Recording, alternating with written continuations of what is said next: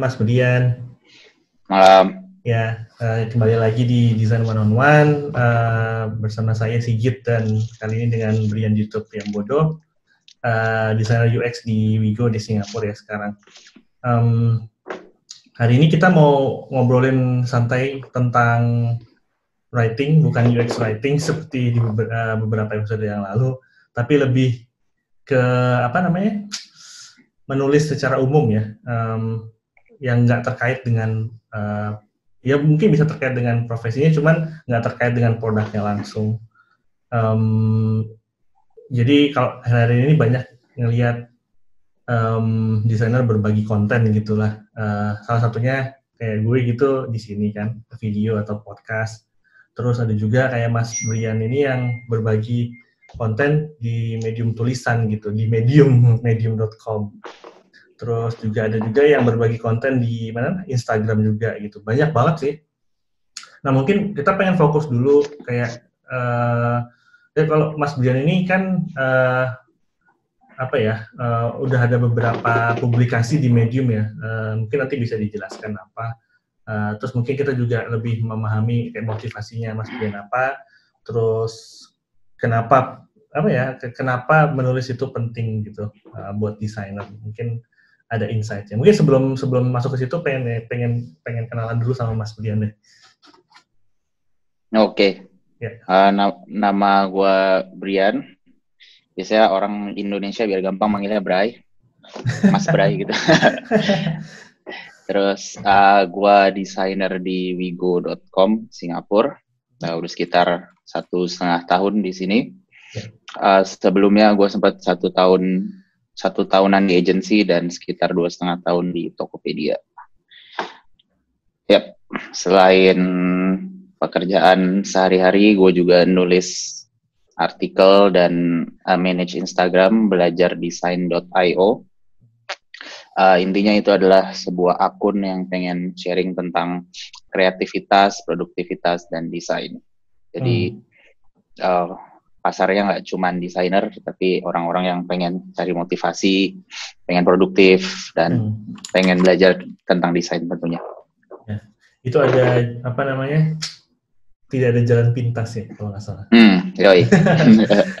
Tagline-nya salah satu tidak ada jalan pintas. Oke, okay. kalau nggak salah Mas Brian juga punya podcast juga ya?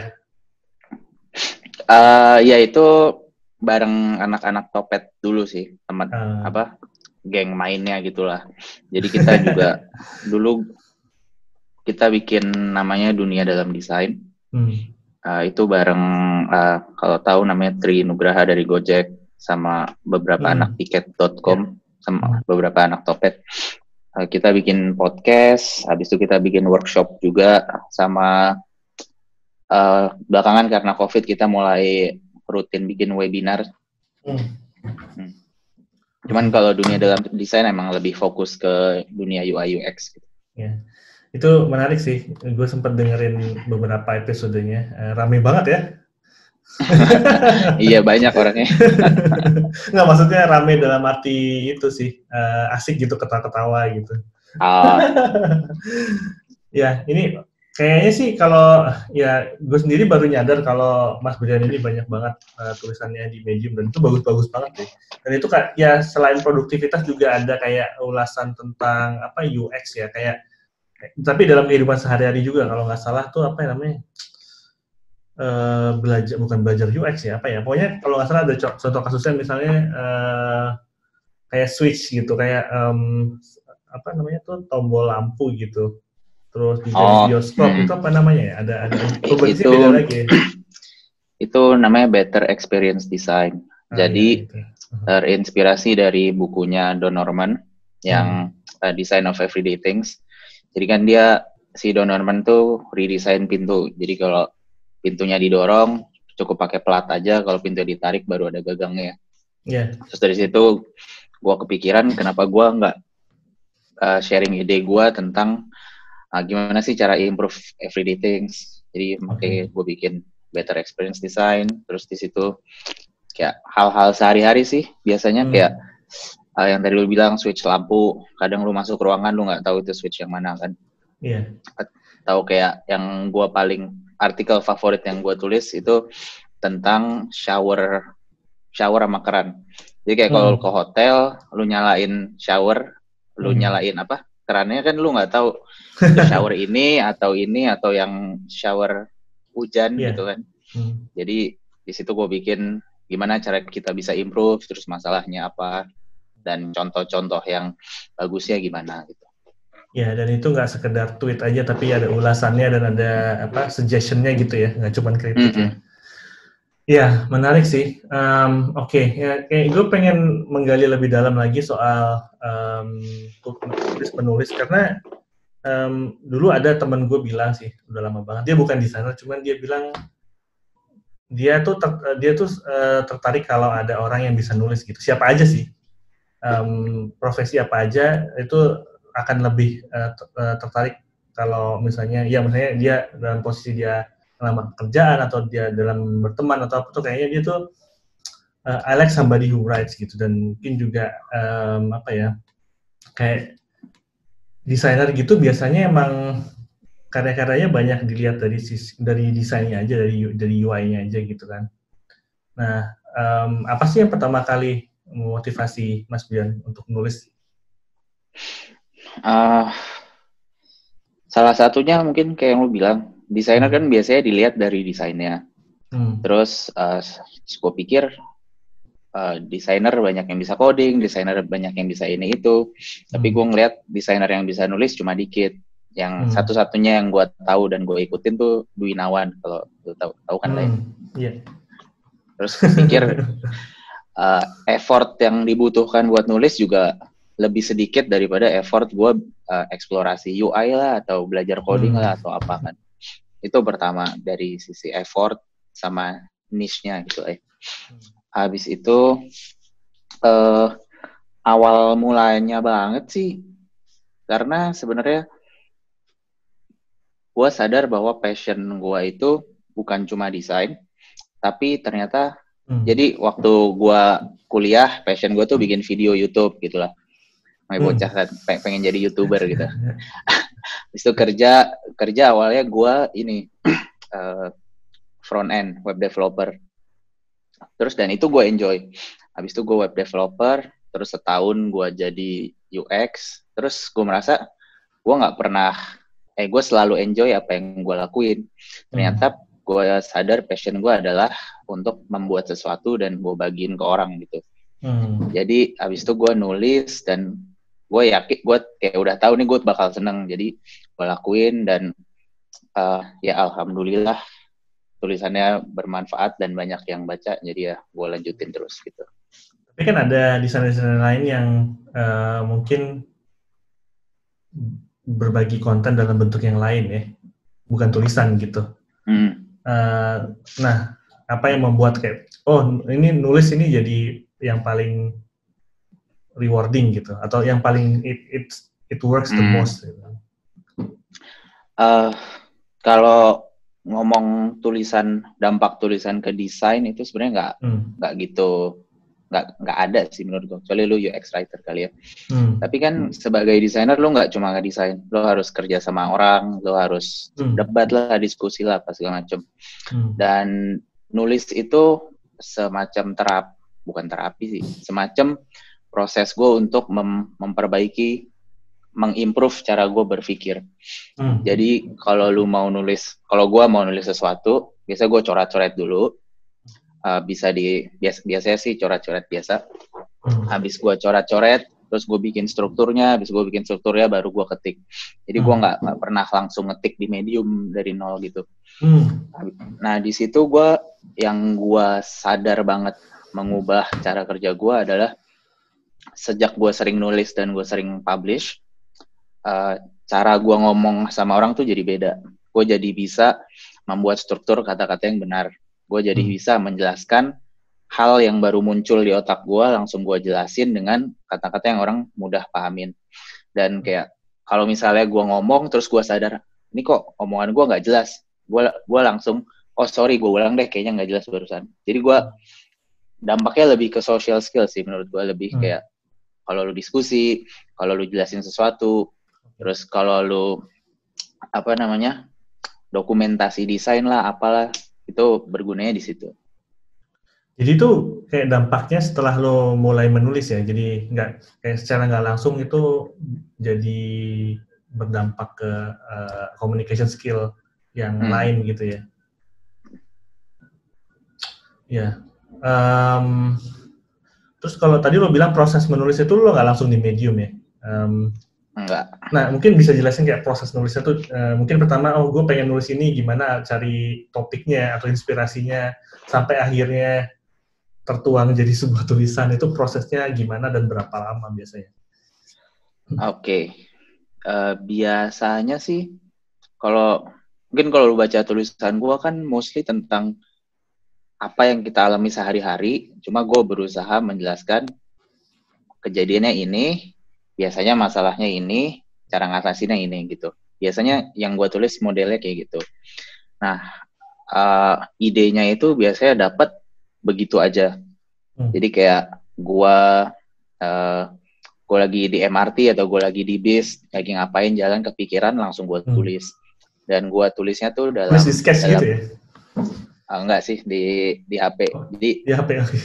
gue tulis di notes tuh banyak banget dan hmm. ini beneran semua ide tulisan yang kayak oh gue dapet ide tulis hmm. habis itu banyak yang beneran cuma judul doang atau topik hmm. doang tapi nggak gue lanjutin karena ya entah gue nggak nemu eh, nggak uh, nemu daging dari materi itu atau nggak ada hmm. ide lah gitu tapi biasanya hmm. kayak gitu hmm. jadi uh, kayaknya kalau emang mau mulai nulis paling bagus adalah begitu lu dapet ide lu catet sih kalau nggak lu pasti catet, lupa ya? hmm. terus nanti begitu sampai rumah atau lo punya waktu luang lo bisa lihat list itu dan dikembangin lagi gitu ya yes Oke, okay. uh, eh, terus lu udah punya gambaran misalnya nanti akhirnya tulisannya tuh kayak gimana gitu ya? Kalau misalnya udah kepilih satu, atau misalnya tiba-tiba di tengah jalan bisa berubah lagi? Iya, itu itu serunya sih. Jadi uh, beberapa artikel tuh gue bayangin A jadinya B, atau gue bayangin A jadinya jauh banget. Uh, Contohnya terakhir gue nulis apa ya, Mbak? Uh, gue nulis ini artikel gue yang jangan banding-bandingin diri dengan orang lain. Awalnya ya. itu.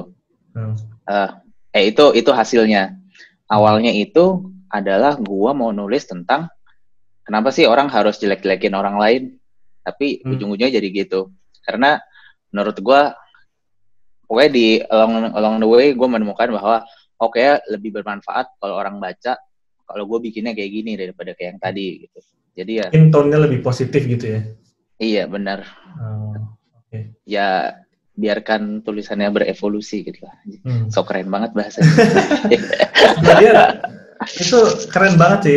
Tulisan-tulisan lo itu nggak nggak cuma tulisan aja tapi ada ilustrasinya juga gitu.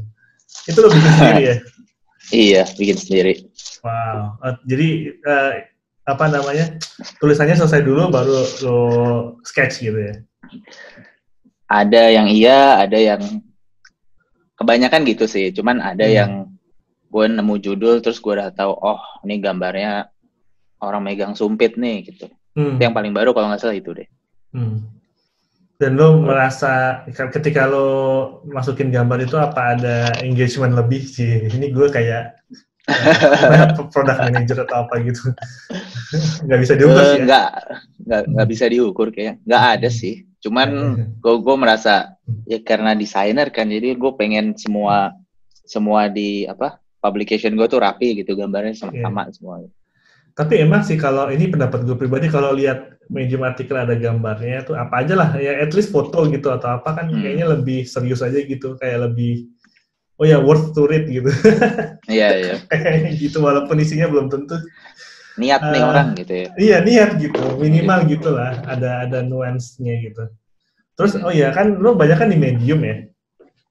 Uh, why medium?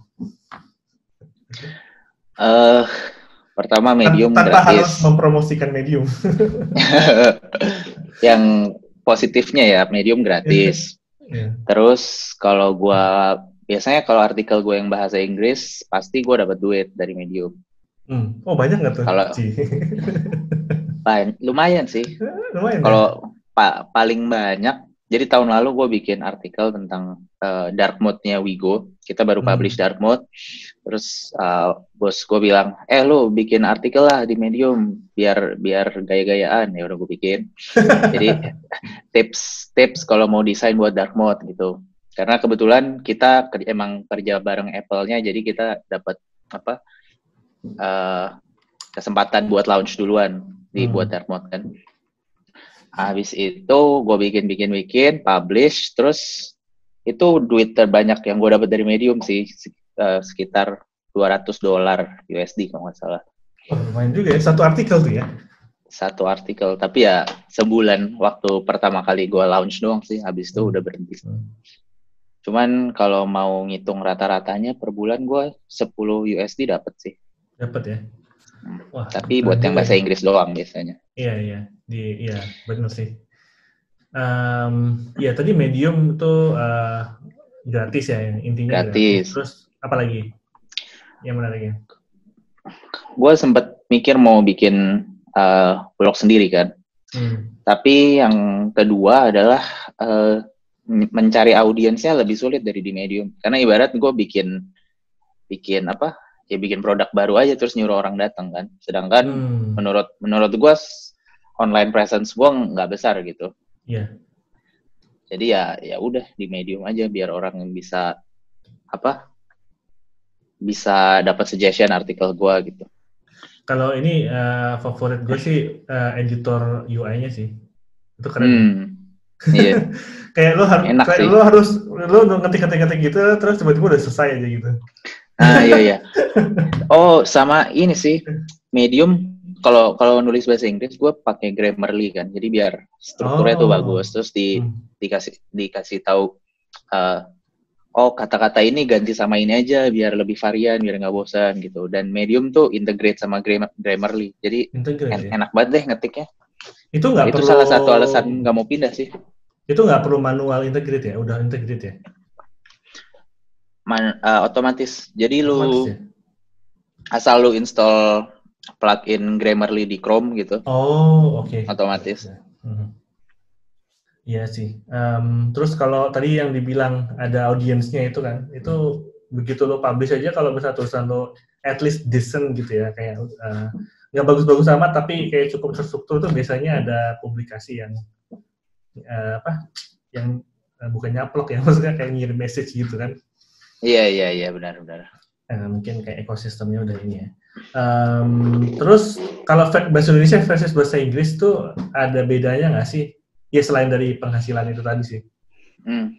Uh, mungkin kalau yang gue agak agak gatel adalah banyak orang yang nge-share buat audiens Indo tapi bahasa Inggris atau cam, cam, campur-campur gitu. Dan yeah. menurut gua itu kurang kurang helpful gitu. Kecuali hmm. kecuali kayak wireframe nggak mungkin lo translate kan. Hmm. Kalau itu nggak apa-apa. Gitu. wireframe jadi ya makanya aneh banget. Tapi kayak kalau lo pokoknya sering lah gue lihat orang nge-share postnya full bahasa Inggris tapi captionnya hmm. bahasa Indonesia terus campur-campur kan. Hmm. Itu itu gue merasa ya buat apa yang yang nonton orang Indo, yang hmm. baca orang Indo, lo orang Indo, tapi lu campur-campur yang internasional nggak kena, yang bahasa Indo juga nanggung kenanya kan. Hmm. Jadi di situ sih menurut gua kalau emang audiens lu mau internasional full bahasa Inggris yang baik hmm. dan benar. Kalau audiens orang Indo ya full bahasa Indo yang baik dan benar juga. Iya, atau kalau misalnya mau dua-duanya ya dua publikasi gitu kali ya. Iya. Beda-beda paling gitu. Bener, paling enak hmm. gitu kayaknya. Hmm. Terus ada medium lain kayak Substack, terus apa lagi sekarang ya? Uh, dulu tuh ada post eh, ada uh, lupa gue namanya uh, tapi itu kayak blogging sih jadi kayak nggak ada komunitinya gitu oh Tumblr ya Tumblr tapi bukan kayak kayak ya itu masih blog juga sih ya mungkin Substack sih kayak Substack kayaknya yang paling kompetisinya paling sengit sih sekarang dengan Medium ya. Hmm. Menurut lu gimana? Menurut gue sejujurnya gue belum pernah coba Substack. Hmm. Jadi gue nggak tahu. Oke. Tapi uh, berminat nggak belum ya? belum tahu sih, belum explore. Okay. Gue sempat explore satu tool. Jadi gue sempat pengen bikin blog sendiri. Hmm. Uh, cuman kalau gue hitung-hitung pengeluarannya terlalu besar sih kalau bikin blog sendiri. Hmm. Kecuali gue bisa coding sendiri, bikin CMS hmm. sendiri itu beda beda cerita. Itu yang balik lagi bikin eh, bikin balik lagi ke medium ya karena dia iya. almost zero modal ya. Hmm. Iya. Uh, terus gue juga lihat banyak desainer yang bikin portfolio atau case study pakai medium, uh, ya kan? Uh, hmm. Itu gimana menurut lo? Uh, gue termasuk salah satu yang melakukan itu. Oh iya, yang dark mode tadi ya? Iya. Iya. Se sebelum sih? sebelum gue masuk Wigo, gue gue bikinnya di medium sih. Uh, hmm. Apa namanya? Portfolio gue. Hmm. Pertama karena gampang itu nulis, tinggal nulis. Hmm. Desainnya tinggal lo copy paste terus publish tinggal publish dan online kan jadi lu nggak nggak butuh bikin website sendiri sebenarnya hmm. share medium.com slash gitu udah hmm. kelar atau lo bikin landing page terus ada kayak beberapa link ke medium gitu ya ini yeah. ini gitu ya link tree yeah. gitu ya iya semacam link tree ya maksudnya bisa apa aja ya mungkin hmm. oke okay. um, Nah, gue lihat juga um, ngomongin portfolio kayak case study gitu, itu uh, skill apa ya? Skill nulis tuh pengaruh ya. Kalau misalnya lo punya case study ya. Ngaruh sih. Hmm. Uh, kayak, ya, um, soalnya kan kadang desainer kan portfolionya ya cuma visual aja gitu. Mungkin hmm. menurut lo membantu gak sih kalau punya skill nulis gitu? Membantu sih Hmm. Maksudnya kalau kita gue bikin portfolio gue sendiri membantu lah. Gue tahu hmm. oh kualitasnya lebih bagus daripada portfolio gue dulu gitu yang waktu gue belum bisa nulis. Hmm. Cuman gue nggak tahu sih. Emang kalau lo hire orang, lo baca semua tulisannya nggak? Atau di, di baca awal-awal? Ya. Gue pilih satu sih. Kalau gue pilih satu yang paling menarik, gue baca semuanya. Oh ya. Nah, tapi nggak nggak semua karya gue baca emang. Hmm, ya, ya. ya itu sih paling ya plus minusnya itulah plusnya kalau dibaca semua case tadi lu bagus gitu hmm. cuman minusnya ya nggak semuanya bakal dibaca kan nama recruiter iya benar sih mungkin lebih kayak ke hiring manager kali ya hmm. Kayak ya yeah, kalau yeah. recruiter kan mungkin dia dia nggak ngerti desain gitu ya udah ini dari segi resume bagus tinggal di, di apa di pas ke apa ke hiring manajernya mungkin hiring manajernya desainer juga terus lihat gitu kan iya iya benar benar uh, oh. terus kira-kira oh, tadi kan lo mikir manfaat nulis tuh juga ke, uh, skill komunikasi lo di kantor juga ya um, itu kan kalau pengalaman gue kan um, mungkin kalau di lo distributor tim gitu ya yang mungkin lo nggak bahkan kalau lo nggak distributor juga ya satu kantor gitu lo lo uh, kerja ngerjain sesuatu konsep atau apa itu kan mungkin ada dokumentasi ya some, somehow there's a documentation gitu. Hmm. hmm menurut lo kalau lo punya skill nulis tuh bakal juga bisa dipakai di situ nggak? Buat apa? Buat dokumentasi? Iya. Bisa banget sih kan. Kayak hmm. lo bikin desain sistem atau lo handover kerjaan ke developer. Hmm. Kalau kalau lu punya skill nulis yang bagus yang bisa menjelaskan hal rumit menjadi mudah itu berguna hmm. banget. Iya, benar sih. Apalagi kalau eh, timnya itu kalau di Wigo semua timnya ada di satu kantor ya, di Singapura semuanya. Hmm. Enggak, yang di Singapura cuma gua. Si saya di KL sama di Jakarta satu. Oh, desainer ya? Hmm. Oke. Okay.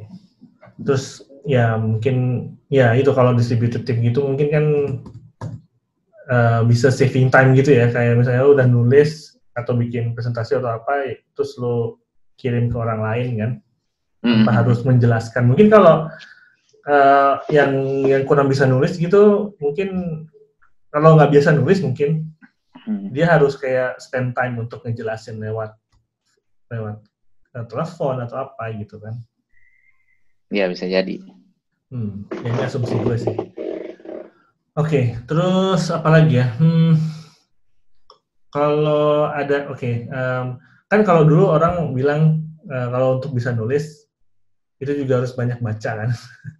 Ah. uh, lu banyak baca juga nggak? Lumayan sih. Baca buku atau baca medium orang lain? uh, semuanya sih. Semua ya. Soalnya kalau zaman dulu kan waktu SD banyak yang bilang uh, buku itu jendela dunia gitu kan. Uh. Kalau waktu kecil kan alah omong kosong gitu kan. Tapi setelah gue melak gue baca buku beneran ya bener sih.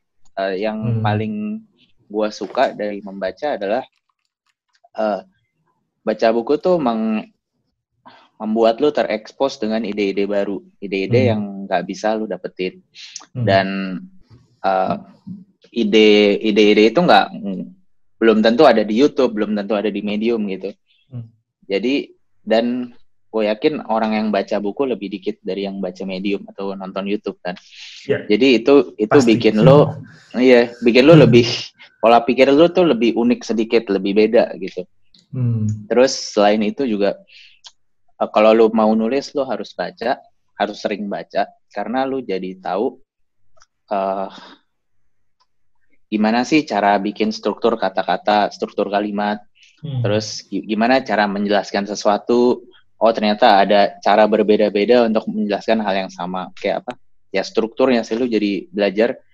Oh orang tuh cara ngomongnya bisa gini, bisa gitu. Terus hmm. uh, kata-katanya ada kayak satu kata ada berbagai macam. Ngomong apa sih gue? Sinonim aja sinonim. Iya. Ada berbagai makna, berbagai arti gitu ya? Ya, ya, ya, bisa gitu. Ya, ya. Iya, uh, ya itu menarik banget sih. Um, terus kalau misalnya ya kembali lagi ke misalnya tadi kalau orang kalau kita banyak baca terus uh, perspektif kita jadi lebih unik gitu kan tadi lo bilang. Mungkin agak beda dikit gitu hasilnya gitu.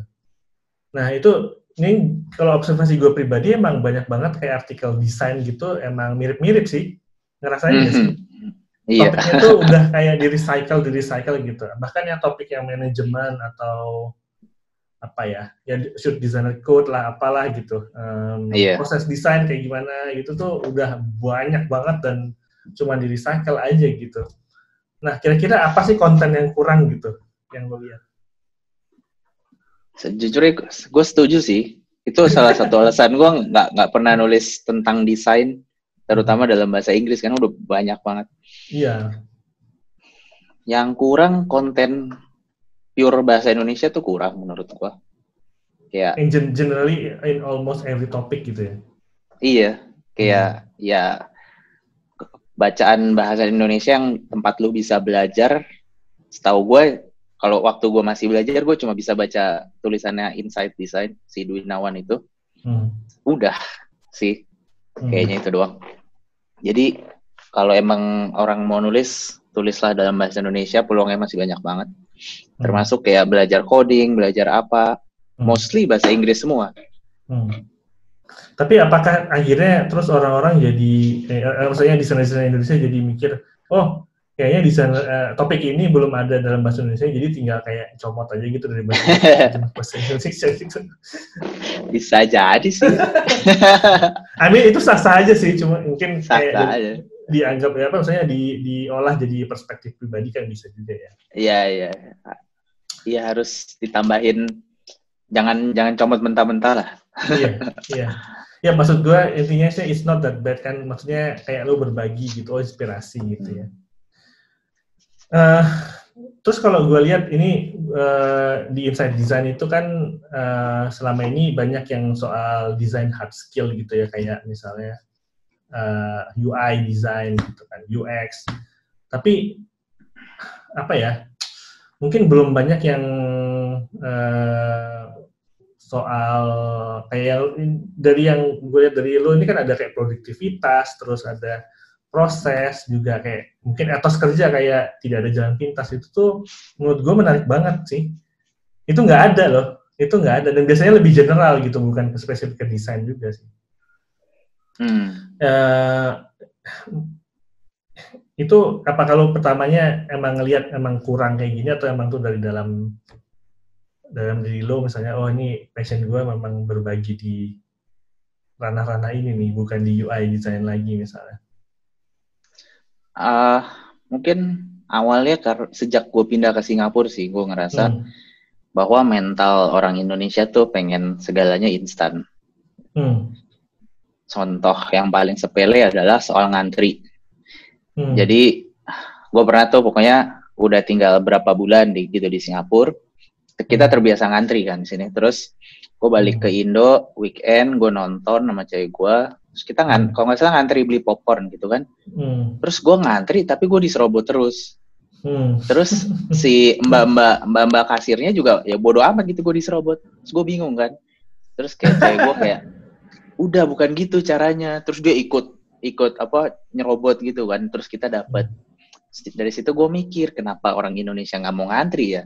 Hmm. Terus kayak yang ngobrol lah sama teman-teman. Terus uh, kayak kita punya kita mendapat kesimpulan bahwa karena dari kecil kita diajarin buat juara satu, habis itu kita dikasih ranking dari yang paling pintar sama yang paling males gitu kan hmm. terus dari situ oh jadi mental orang Indo tuh mental buat menang gitu buat gua, hmm. gua harus lebih dulu dari dia gitu walaupun sepele gitu hmm. kayak makanya macet orang jadi ngelawan arah terus ya gitu gitu gitulah ya akhirnya gue pengen uh, karena bidang gue desain salah satu satu-satunya kesempatan gue untuk uh, berusaha ngajarin bahwa semua tuh ada prosesnya, lu nggak bisa langsung jadi jago, lu harus hmm. lu ya. harus bersusah payah dulu, lu harus belajar dulu baru jadi jago. Salah hmm. satu caranya ya lewat tulisan dan dimulai dari bidang desain gitu. Ya, menarik sih. Kan kayak desain juga proses ya. Untuk hmm. sampai ke produk yang bagus itu bukan sekedar cantik aja atau UI aja, tapi ada banyak lain di dalamnya. Iya, benar ya menarik. Uh, kalau um, penulis medium atau penulis siapa aja sih yang yang jadi panutan lu siapa? Penulis medium. Waktu baru belajar banget si aku lupa namanya Top Thomas Budiman, terus Winawan, hmm. itu yang yang Indonesia. Kalau yang bahasa Inggris, dulu gue suka baca Nick Babbage, hmm. sama Pablo Stanley sih. Pablo Stanley, oke, okay. keren banget sih. Mm-hmm. Kemarin waktu di awards itu nggak ada dia ya? Iya nggak ada, kejauhan kayaknya. Iya, dia sekarang udah jadi, dia udah punya startup sendiri lagi. Mm. Ya, menarik sih dan kayaknya terinspirasi juga dikit-dikit dari Pablo Stanley karena lo illustrate your writing juga ya somehow. Iya. Oke, okay, ini menarik banget sih. Kayaknya uh, mungkin pertanyaan terakhir gue, um, uh, apa kayak ujangan lo buat desainer-desainer yang belum nulis dan atau mungkin kayak mau nulis tapi kayak, aduh gue nggak bisa nih nulis, gue susah banget gak punya waktu gitu. Uh, kalau lo mau ngelakuin sesuatu, nggak usah dipikirin, lakuin aja. Hmm. Kalau lu nunda-nunda terus, ya lu nggak bakal ke mana-mana, lu bakal di situ-situ doang. Hmm. Terus kalau lu lihat diri lu sekarang dan diri lu di masa lalu, lu lihat lu udah berkembang seberapa. Kalau kalau ternyata lu nggak berkembang sama sekali, apakah lu tetap nggak mau berubah? Apakah tahun depan lu mau merasa kayak gini lagi? Jadi lakuin aja, publish publish aja, nggak usah takut dijudge, nggak usah takut dikatain, hmm. karena sejujurnya tulisan lu di awal-awal nggak bakal ada yang baca. oh gitu ya. iya. Tapi somehow kayaknya dikit banget yang baca. Dikit banget ya. Kecuali itu masuk ke publikasi yang sangat-sangat. Yes. Oke, okay, dan hashtagnya tidak ada jalan pintas ya? Tidak ada jalan pintas, semua itu proses.